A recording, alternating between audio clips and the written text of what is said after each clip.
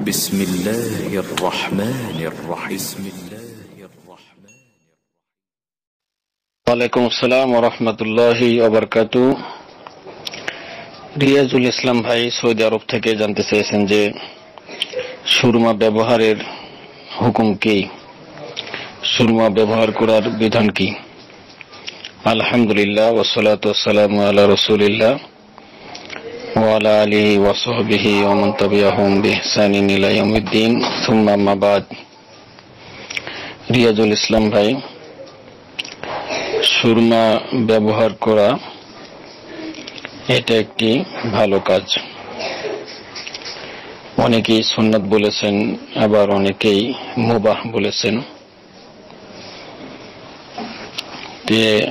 আমরা বলতে পারি যে, এটা একটি ভালো কাজ।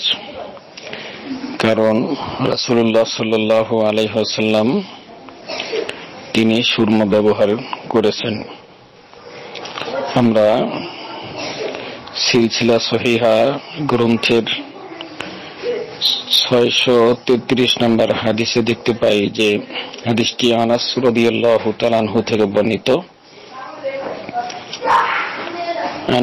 আন্নান নবিয়া সাল্লাহ আলাইহাসাল্লাম কানা ইত্তাহিলু في عينه اليمنى ثلاث مرات والإسرى مرتين রাসুল্লাহ সাল্লাহ আলহাম কানা ইত্তাহিলু তিনি সুরমা ব্যবহার করতেন ফি আইনিহিল ইমনা তার ডান চোখে সালাস মারত তিনবার ওয়াল ইসর মারতাইন এবং বাম চোখে দুইবার এই হাদিসটা আমরা সিলসিলা সহিহার, সিলসিলা সহিহা গ্রন্থের ছয়শো তেত্রিশ নম্বর হাদিস। আরও হাদিস আছে। আল্লাহ নবী কি সুরমা ব্যবহার করলে ভালো হবে?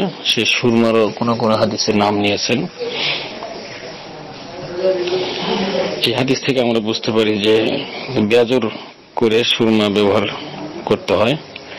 এ কারণে ওলামা কেরাম অনেকেই যেমন মুগনি কিতাবে, ইমাম নবী তিনি মাজমুয়ার মধ্যে এই সুরমা ব্যবহার ব্যাজুর এটা সুন্নাত হিসেবে উল্লেখ করেছেন।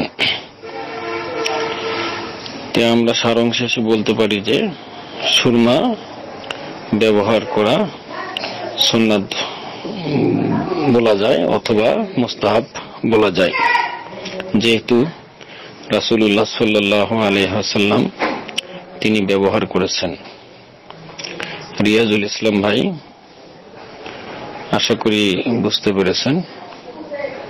আসসালামু আলাইকুম রহমতুল্লাহি ওবরাকাতুহ